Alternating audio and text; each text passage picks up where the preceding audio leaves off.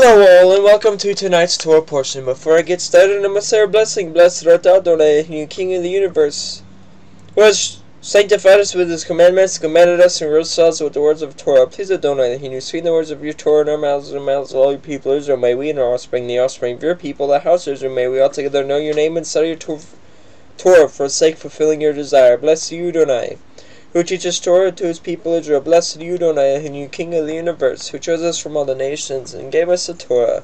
Blessed you, Adonai, giver the Torah. May Adonai bless you and keep watch over you. May Adonai make his presence to unite you, may be kind to. May Adonai bestow favor on you and grant you peace.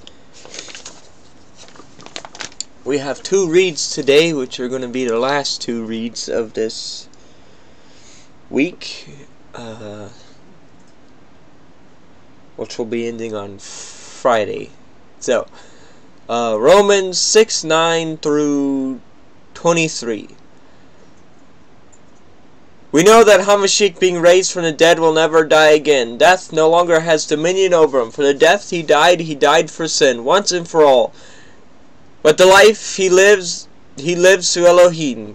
So you must also consider yourself dead to sin and alive to Elohim in Yeshua HaMashiach. Let not sin therefore reign in your mortal body, but make you obey its passions.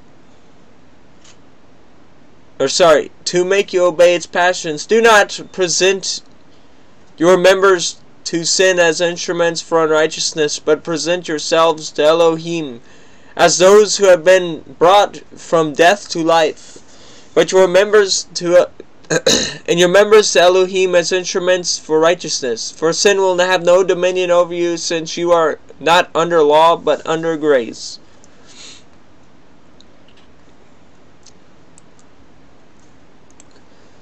What then? Are we to sin because we are not under law, but under grace? By no means. Do not do you not know that if you present yourselves to anyone as obedient slaves, you are slaves of the one whom you obey, either of sin, which leads to death, or of obedience, which leads to righteousness?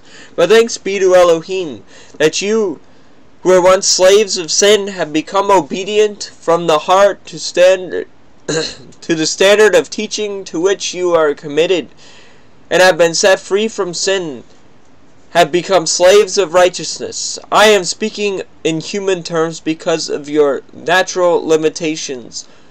For just as you once presented yourself, uh, you, uh, presented your members as slaves to impurity and to lawlessness, leading to more lawlessness, so now present your members as slaves to righteousness, leading to sanctification.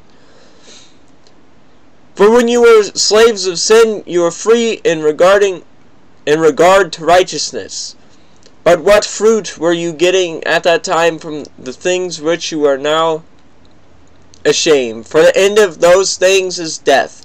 But now that you have been set free from sin and have become slaves of Elohim, the fruit you get leads to sanctification in its end.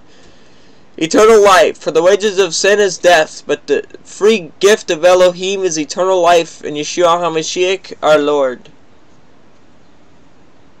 Hebrews 13:1 through 5 Let brotherly love continue. Do not neglect to show hospitality to strangers for thereby some have entertained angels unawareness remember those who are in prison as though in prison with them and those who are mistreated since you also are in the body. Let marriage be held in honor among all and let the marriage bed be undefiled for Elohim will judge the sexual the sexually immoral and adulterous. Keep your life free from love and money.